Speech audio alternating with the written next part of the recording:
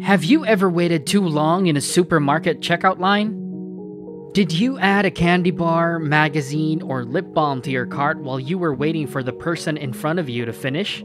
If so, you're not alone. And there's a reason why stores keep sodas, candies, and other things at the checkout aisles. These items are called impulse items and are strategically placed to entice bored customers into buying cheap but overpriced items to help the retailer drive revenue. If this is you, don't be too hard on yourself. The average American will make 12 impulse purchases and spend $276 each month on these transactions. For a number of reasons, we all buy things we don't need. Some we regret, while others we never think about again. Purchasing things we don't need drains our bank accounts rather than allowing us to save money for investment opportunities, enabling us to grow wealth. We're only making the seller richer and ourselves poorer by purchasing these items. Welcome to Grey Skies Media, and we're here to help you invest in your future. Please do us a favor and hit that like and subscribe buttons for more content like this. To determine whether something is worth purchasing, ask yourself a couple of questions. Do you really need this item? Will you actually use the item once purchased? If so, can you purchase a better alternative at a lower cost? Do you even have the space to keep such item? If you want to build wealth and provide a secure financial future for your family, consider these questions before spending money on these products. We buy a lot of stuff we don't really need, and we're going to highlight 15 typical things we spend money on that we should stop buying right now. You'll be able to stretch your money further, avoid credit card debt, and have money to invest in your future. Number 1. Coupons for items you don't need. Coupons are an excellent method to save money. You can quickly minimize your spending if you coupon appropriately and attentively. This can be a lifeline for some families. Coupons, on the other hand, can cost you to waste money if you're not careful. Don't use coupons as an excuse to buy stuff you wouldn't ordinarily buy. Even if it's only an extra $3 on top of your regular purchase, you'll find yourself doing it far more frequently than you meant. When you could be concentrating on coupons and discounts when you really need them. Number 2. ATM fees and other bank charges. Paying ATM fees is similar to putting money through a paper shredder. To avoid them, carry cash or move your business to a bank that doesn't charge fees. Banks count on you paying fees to help drive revenue, but that doesn't mean you have to accept it. Consider using a credit union instead of a bank to avoid some of these costs, and switching banks isn't as tough as it used to be. Number 3. Late charges. Late payments not only result in an unnecessary drain on your bank account, but they can also harm your credit score. Consider automating your bill statements, signing up for text and email reminders, or paying online to prevent late fees. If you find yourself in a situation where you know your payment will be late, contact the firm and request an extension. They may accept a partial payment, forgive late fees, and you may save a few dollars. Furthermore, they'll appreciate the call because they believe that you are serious about paying your account. Number 4. Weight loss gimmicks. Weight loss creams, pills, and supplements marketed as magical cures for the overweight are a sham. These weight loss product testimonials are a bogus marketing tactic, and the models in most cases never had a weight problem to begin with. Weight loss traps are a billion dollar industry. Unfortunately, claims that you may lose weight without changing your habits are just false. And some of these items may really be harmful to your health. Learn to spot misleading claims in weight reduction advertisements and online weight loss product stories. And the truth is that a thin body doesn't come from a gimmick. Losing weight takes both a firm commitment and a strategy for achieving and maintaining that ideal weight. Don't get fooled into spending your money on something that will never work. Number 5. Pre sliced products. Your pre cut meat, cheese, and fruit are most likely more expensive than if you bought them whole and cut them yourself.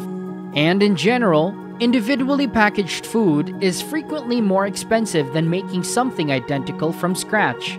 Snack bars, for example, aren't difficult to make, and the bulk components are ideal, considering the amount you can create with them. When comparing pricing at the grocery store, pre-cut products are 2 to 3 times more expensive. Number 6. Lottery tickets. Stop buying lottery tickets every week. Although playing the lottery may be exciting, your chances of hitting the jackpot are essentially zero. Would you put your money on a horse race with such odds? Lotto tickets are a complete waste of money. Instead, consider using the money to buy dividend earning stocks. Number 7. Credit card interest. Here's the reality if you can't afford to pay off your credit card each month and pay interest, you shouldn't have one. Credit card interest can add up quickly. If you're like many individuals who struggle to keep your credit card balance under control, do everything you can to settle it and get rid of it. If you're trying to pay off your credit card, consider switching to a zero interest or low interest card until you can bring it under control. Remember, you're paying double digit interest on your outstanding balance each month. Number 8. Buying too many groceries. We need to eat to live, and for a variety of reasons, the foods we enjoy eating, particularly those that are both tasty and nutritious, can be expensive. However, for reasons that are primarily our own, we frequently wind up paying more for food than we should. We have poor shopping habits. We don't take advantage of money saving opportunities. We squander food by purchasing items that we never use and that spoil before they reach our meals.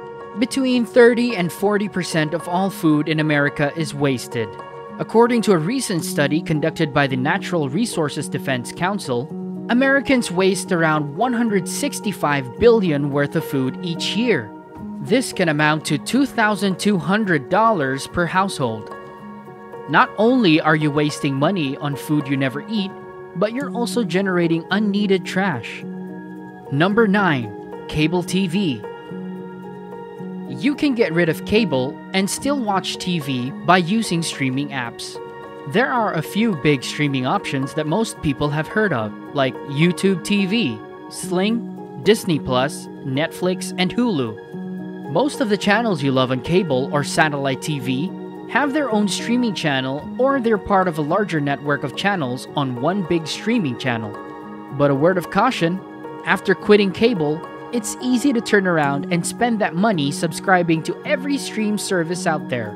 Avoid racking up the equivalent of a cable bill and choose one or two or take advantage of the free channels. Number 10. Paper towels. Using paper towels is like throwing away money. Not only does it generate more waste, but using single use paper towels will cost you more money than using cloth towels.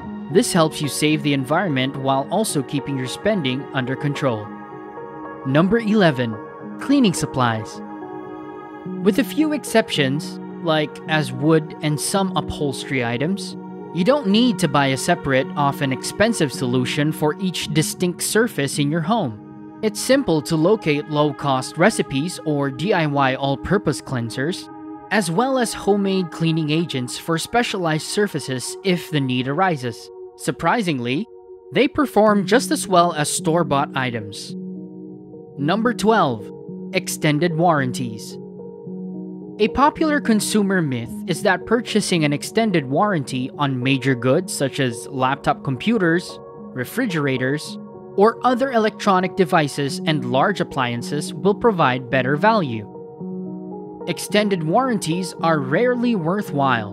While a guarantee may appear to be a good idea, it frequently comes at a large cost and does not cover everything that could go wrong. Furthermore, you may already be protected by the manufacturer's warranty. Number 13. Items on sale. Putting anything on sale is a common strategy for stores to deceive customers into purchasing something. They slap a huge red tag on it, Or put up a large 50% off sign, and people start buying junk they would never buy at full price. This strategy is effective because it creates a sense of urgency. Aren't sales only good for a limited time? To prevent this deception, disregard the sales price and base your purchase on its present value to you. Don't pay $50 for something you'll never use simply because it's on sale from $100. Like misusing coupons. That's just squandering money. If something you need or have wanted for a long time is on sale and the price is reasonable to you, buy it. If not, simply walk away. Number 14. Things you won't use. Why spend money you don't have on culinary gadgets you'll never use? Instead of splurging on the next impulsive purchase, assess your current situation and identify what you truly require. According to CNBC, US consumers spend $5,400 each year on impulse purchases. Consider whether the item or service is necessary. If not, wait a day before deciding if the purchase makes sense. Number 15. Spending to impress. Keeping up with the Joneses, or living above your means to attain prestige, is a very typical way for people to spend money. It's easy to feel compelled to purchase certain items because people around you do. While it can be difficult to stop comparing your life to others in an age of social media, try to be loyal to yourself, your lifestyle, and your budget. No two financial goals are the same, since the path to achieving those goals is likely to be extremely varied Everyone has a unique background, but what it takes your neighbor to attain a given financial milestone is likely to be different from what it takes you, and vice versa. Focusing on your own personal goals, wants, and priorities is a much better way to spend and save money, and possibly even live a happier life. What do you think about our video? Let us know in the comments, and don't forget to like and subscribe. Click on that bell icon so you never miss an upload. See you on the next one.